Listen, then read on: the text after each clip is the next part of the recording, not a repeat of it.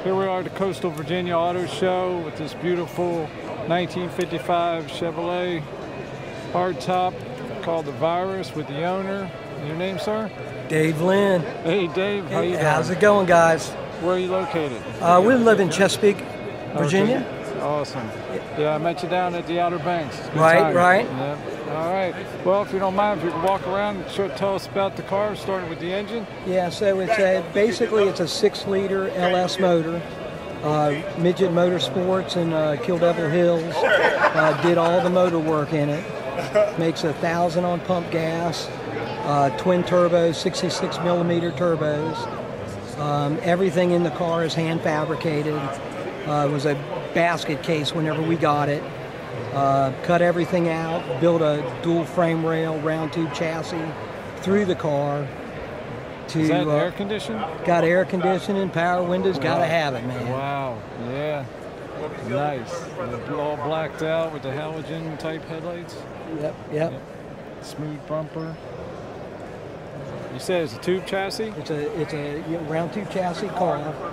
Uh, basically a four link setup. The vent for the. Uh, Yeah, so the two intercoolers are right behind the headlights, Okay. so that kind of gets a little bit Yeah. extra air into them. There's the other one. Nice. And uh, Very, was very nice job fabricating that Yeah, as well, yeah. and molding it into the radiator support.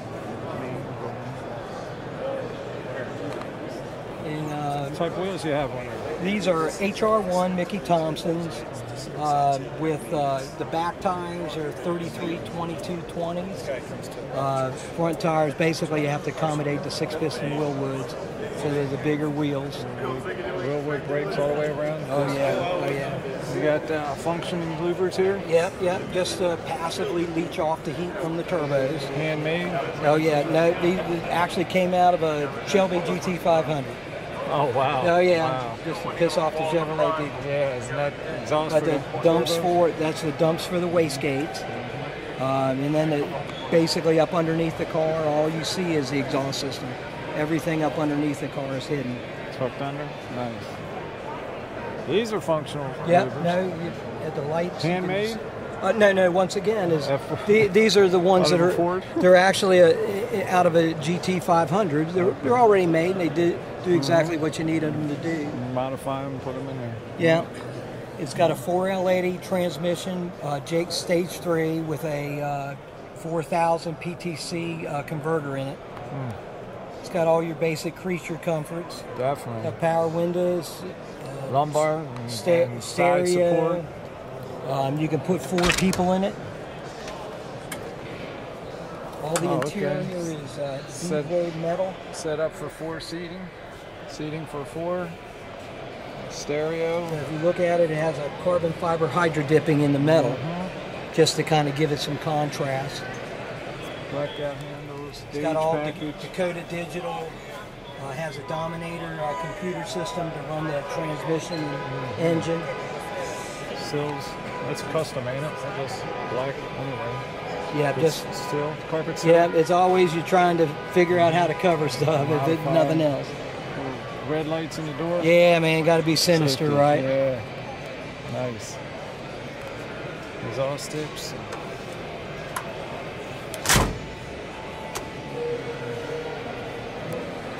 What size rear? It's a uh, 18 by 16. Got a wheel? five-inch back spacing. How about the rear? The, the rear is where all the metal work got done. We took and welded the trunk in, uh, which made it a hatchback. Let me grab this.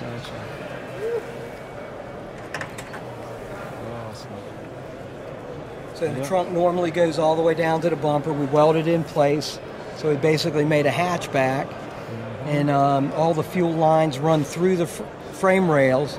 Tubes. What's up, man? He's been in this in the trunk. trunk. He- he- I put his big ass in this trunk, man.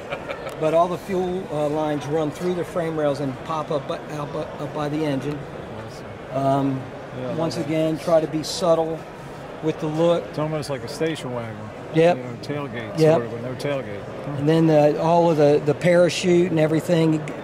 There's there's a receiver that's built into the car and it just sticks through the bumper. So if you pull it off, you could put the license plate on the, the car Oh, okay. and still for the, the same there. look. Right. So what size gears in the rear? I have a um, 389 because it makes a thousand horsepower. So, you know, Something- overpowering the wheels is not a problem. Right. And then be able to get top speed too. I'd wake up and I'd wake up in the morning and there'd be. Yeah, just um, it's all worked out, and it, it's like even if you look at the hinges, Oh, the hinges are seven plates of metal that are individually welded together to create the hinge. You know, Whose idea was the uh, red stripe down the body molding? mine. I've got a I've got a red road glide. Okay. Can't only do go. cars. All eh? Yep. Got to switch up. Especially being a hard top, it's very nice. I recognize these door handles, but I know they're not from a Out of an 55. 08 Impala, Impala. cut them out at a junkyard with a hammer and a screwdriver. Weld them in there and load them. Nice. Yeah, we tried to make the back of the car look like a, a early '60s Corvette. Oh, You know, where the Yep. seats are sunken into the. I mean, because the wheel tubs, the wheel tubs are j- directly behind the seats. Right. So that's about as much room as you can accommodate the wheels and accommodate people in it. But you could put full-grown adults in it. Nice. So how long have you had it? How long did the build take? I think I got the car in uh, 2009, 2010. It was probably basically like a 10-year build. Uh, everybody, there was no criticalness for getting things done, and then they, you know, everything gets pushed to the side for a while. Yeah, yeah, money. Yeah, You know, yeah. No, money was really, Yeah. uh, honestly, money was re- really never the problem. you have a Holley uh, electronic fuel injection? Yeah, so the Dominator is the Holley computer system. Um, so basically, uh, all of the fuel system uh, for the for the engine is all Holley. So uh, what's this right here? So they, they're the blow-off valves. Okay. Close the throttle blade. It's the thing that goes. Oh, okay. So Whenever you hear a computer turbo car, Right. that that way you don't bend the impellers because it's still building boost. For the turbo. And whenever it closes, it closes the exit of all the pressure. Gotcha. So what that thing does is it sends vacuum in it. Okay, so you Sucks it up. one for each, right? Right. No, I'm symmetrical thinking. Oh, If it's on the left, it's on the right. Okay. You know what I mean? Costs twice as much, but what the heck? I like like things to be that way. Tubular frames and adjustable shocks. Yeah.